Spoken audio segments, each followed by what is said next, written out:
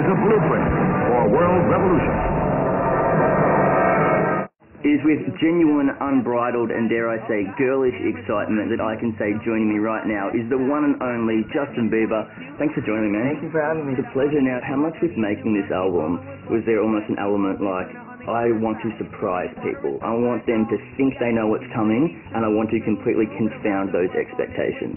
All of the reviews of my my album have been really great. I mean, I haven't. I think I've seen a couple bad reviews, but most of almost every review, and these aren't people that genuinely listen to my music, and for them to really accept it, and that's what I wanted. I wanted people to like have that wow moment, like someone to play my song on the radio, right? And then people in the car just nodding their head, not knowing it's me, and just you know, who is that? And then having their friend be like, oh, that's Justin Bieber, really? What's the biggest wow moment on it to you?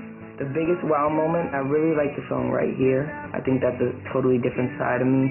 Um, I was able to work with Drake on that, and we recorded it um, in LA, and it was a really cool moment. So that was that was definitely a wow moment. As long as you love me, I'll be a platinum, I'll be a silver, I'll be a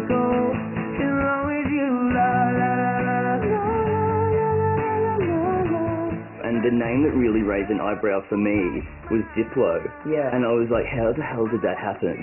Yeah, I mean Diplo is super talented, and being able to work with him, and, and like the people I work with, like him and like Timbaland and Mike Posner and Nicki Minaj, the list that I was able to work with was really phenomenal. And the list is bigger because you didn't include a lot of the ones recorded, like the Taylor Swift songs not on there, the Kanye song. Yeah. Why did those songs not make the album? It wasn't the direction um, that my album was going. There were so many songs I wouldn't be able to put on there.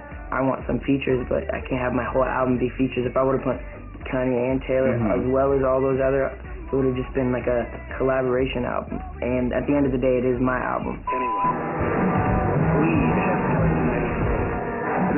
For World Revolution.